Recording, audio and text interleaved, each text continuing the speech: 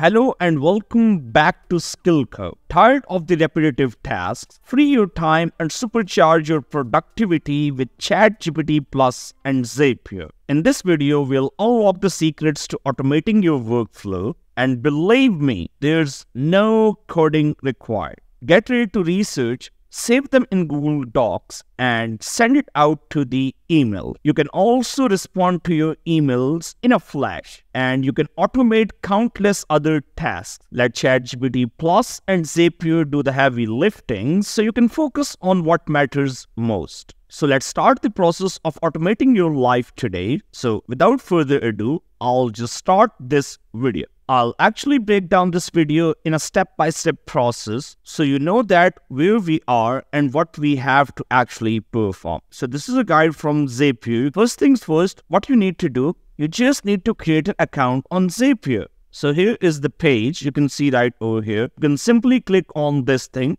like try for free and you will be all set up and good to go. So I'll simply continue with my Google account because it's the most convenient way to like uh, sign up. I will just provide in with my password and just click on confirm. Okay. So now you can just quickly set up your account and just click on continue and you will be all set up. Okay. You can just skip these. Okay. So it's not a big deal. We can set them up later. Okay.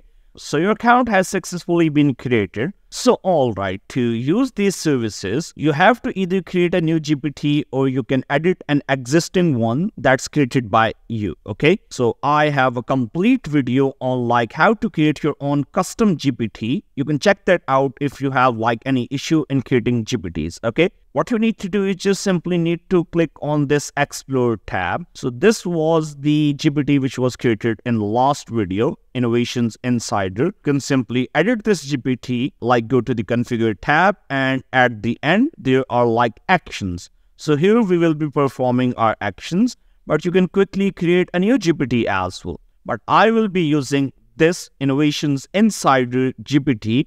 So I'll click on edit things then the next step is that you need to go to the configure tab. And in the configure tab at the end you need to click on like actions. Okay? So here you can see that i have the option like import from url and there are examples as well. You can enter your schema like the coding stuff or something like that. And there is the authentication part as well. If you want to add authentication you can do that as well.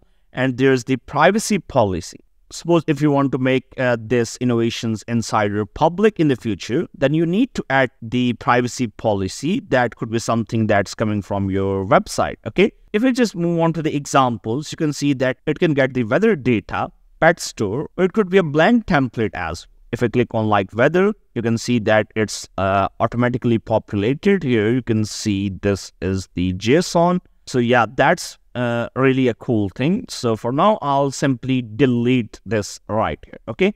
All right. So the next step is that we need to actually import the URL which Zapier is actually providing us. So this is actually the official guide from the Zapier, like how you can connect the GPTs. Okay. We need to copy this URL and we will simply click on import from URL and paste it in right here. Okay, I'll click on import and it will populate all the data you can see right over here. Okay, we don't need to change anything here. Okay, if we just scroll down, so you can see that we have like available actions. So we can actually get something from like the Zapier and we could also post it. Okay. So this would be for like running the action and this would be for like the listing available action. And we also have the authentication and that would happen when we will try to actually connect to the Zapier. Okay. All right. So now I'll simply click on update and it would be available to only me. Okay. I'm just doing it because if I just move on to like previous step, so it's actually saved for me. So the next step is that you need to create Zapier actions. So for that, what you need to do, you just simply need to copy this URL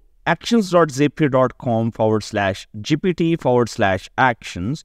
I'll provide this URL in the description as well. Okay.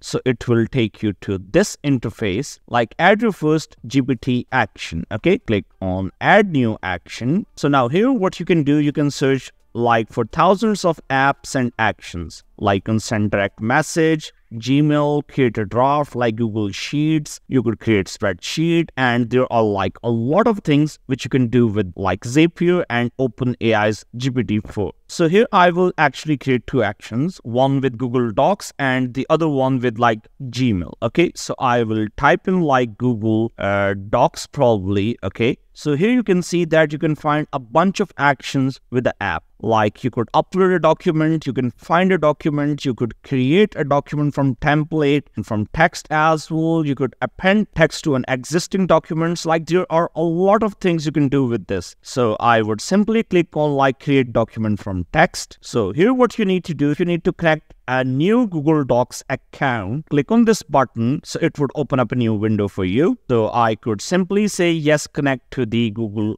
Docs. So I'll choose an account to simply connect it. Okay. And then I'll click on allow. So this will allow Zapier to actually get access to your Google account. And believe me, it's like it's really safe and there's nothing you need to worry about. And if you want to connect more accounts, you can do with like clicking on this manage account, then you can actually switch between them. So for the document name, you just have like two options. Have AI to guess a value for this field or set a specific value for this field. I'll choose the second option. So here I can enter the name what I want to like name my document. Suppose that I'm creating this document for the scripting purpose of my YouTube videos. So I'll say it like YouTube uh, script research, for instance. Okay, that would be great. Okay for the document content, that must be like have AI guess a value for this field because we will populate it with a text that GPT will be providing us. So now you can actually click on like show all options. So for the folders, you could actually have AI guess the value for this field or you could use the default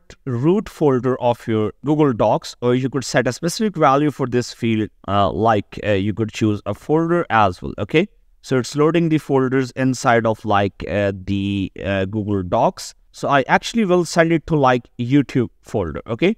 That's more convenient for me for now. And if you don't have any folder, you could simply go to your Google Drive and create a new folder. And then you can actually choose that from here. This is the action name. So in my opinion, this is the most critical part because this is the exact thing which you will be providing to our like GPT to know which action we're going to perform. So I will say like create a document in docs for instance okay? And you need to copy the exact thing into your gpt so make sure that name it appropriately. So our first action is done here. You just simply need to click on like enable action. So it would be done for you okay? So you could see that your action is now available here. So that's really a great thing I want to just create one more action here, okay, for like sending the uh, email, okay, so because I want to automate like two things at the same time, like creating the documents from the text and then sending them via email. So I want to pretty much accomplish that thing, okay. So here I would search for like Gmail and I'll click on like this thing, which is like send email, okay. I want to like connect a new Gmail account. Yeah, yes, continue to Gmail. You need to give the access of your Gmail to like uh, Zapier. Okay, and it's safe. Don't worry about that. Now you can populate these fields. I will actually set up the specific value for like uh, to the person I'm sending this email. So I'll provide the support email for my company. And for subject, actually, you could also have AI to guess a value for this field. But I want to be more specific here as well. I could say like, uh, hey, suppose research is ready. Okay. And for body, you must like choose this option, like have AI guess a value for this field. And for more options, like you have like BCC from, okay, here you could actually choose your own email address. Yeah, here. Yeah, this one. Okay yeah, subject is already there from name. I don't want to include that. Reply to do not include a value. Okay, that's fine. Body type would be like plain. Signature, do not include a value for this in field. If you want to actually change these options, you could do so.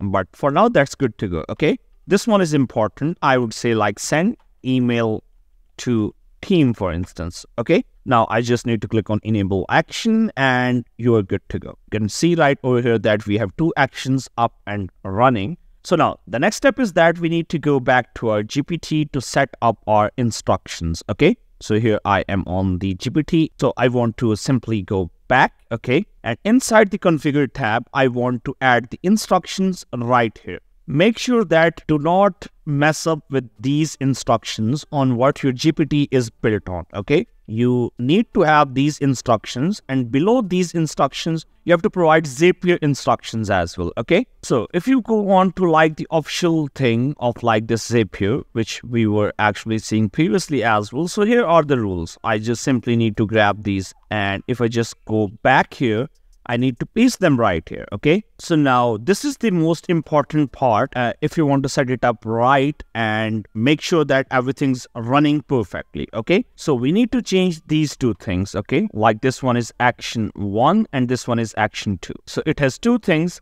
First, the like action which is like the action name, then the configuration link. Okay, so I will tell you how to actually uh, populate these fields. So I'll get rid of this thing confirmation link as well okay? And i will do like uh, for this thing as well. If you don't have like the second action so you can get rid of like this whole thing uh, for action what you need to do for example go to the first action and then go to show all options and this is the action name okay? I need to simply paste it here and for the url or confirmation link so this is our confirmation link which is actually on the top so I will simply paste it right here. Okay. And we need to do same for like the second action as well. Grab link and name and paste it there. Okay. This is the part which has to be done perfectly to like make it up and running. Okay. I'll simply click on close and you can see that there are unpublished changes. So I'll click on update for only me and then confirm. All right. So you can see that I have like published this. I can now actually uh, test this thing out, okay? Uh, let's go to create. So I actually am creating this thing like a YouTube script so that I have some text to play around, okay? To show you like how this thing, like the automation stuff will work. All right, so my script is ready. You can see right over here, okay? So now what I need to do, I'll simply say like uh, uh, copy it to Google Docs, for instance, okay? So I'm not telling it like, hey, use Zapier or stuff. So I think it should know like what to do here. So it's saying like starting an action. Okay. Yeah, you can see that now it's saying like sign in with actions.zapier.com. So I'll click here. So you see that it's saying like allow. I'll simply click on allow button. Okay. Yeah. It says like you have successfully signed in via OAuth okay? This would happen only the first time you're doing this. This is the authentication part which was actually uh, necessary to do okay? So yeah the authentication was done i guess. Let me just go back to like actions.zapier.com okay? And inside the authentication part now there must be like OAuth okay? So that's a good sign. And now let me just uh, give it a prompt like Suppose create a 100 word article on Gen AI, for instance. Okay. All right. Here is my 100 word article on Gen AI. I actually generated this text because I would have something to play with. Okay. So now I'll say like copy this text to Google Docs. So you see that it's starting the action. It should have known that uh, it has to work with Zapier. Okay. Because we have configured it in that way. Yeah. I'll simply confirm this thing. Okay so yeah, this is the common issue which you get. Uh, like it says that it encountered an issue while trying to create like Google Docs. So you should like actually refresh your actions. Okay. So I'll do that and come back here and I'll say I have done it. Okay. So let me just send it once again. So yeah, it's starting the action once again. Yeah, I need to confirm this. Yeah, I don't know why it's saying like uh, due to a technical issue, it's like failing to actually complete this thing. Okay, let me just once uh, check in the folder. It's actually strange. You can see right over here, if I just open up my YouTube folder where I configured everything, if you go to like the Zapier's action inside of create docs, you see that I have chosen this YouTube folder and the name of the document as YouTube script research. It says like due to a technical issue, it failed to complete this step. But when I go to my docs, over here you can see that it just created uh, a YouTube research script. If I just open this thing, Now you can see that it's actually the same text which is here like the rise of Gen AI, a game changer in technology and it's uh, ending on like where AI's creativity complements human ingenuity, okay? Like here.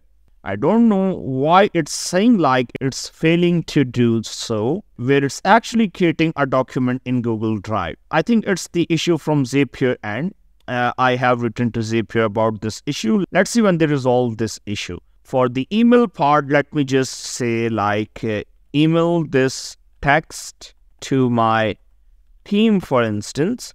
So yeah, it's starting the action. You can see right over here. Yeah, I'll need to confirm. Stop talking. Yeah, it says like the email has successfully sent to your team. Okay at least the email part is working as it should. If I just open up my account because I have access to that, let's see whether I got the email or not. Okay. Like this is the email, the rise of generative AI, like the same text. Okay. So you can see right over here. Okay. This is the email, but there is no signature. So if I just go back into the send email to team one, and if I just scroll down, so here you can see that I have other options as well. If I move on to the signature, so you could add like the option of signature as well. If you have a signature specified inside of your email account, you can choose that. Otherwise, you can have AI to guess the value. Or if you want to do it without the signature, you can do that as well. Okay, so your signature will populate somewhere here. So I think you got the idea and point like how to like automate your stuff with the help of Zapier and GPT-4. Wow, you are now a master of automation. Remember, the possibilities are actually endless with ChatGPT Plus and Zapier. So get creative, automate your life and achieve more. Don't forget to like and subscribe for more AI related stuff and let me know in the comments what tasks you have automated using this powerful duo. Okay, see you next time. Till then, have a good day. Bye.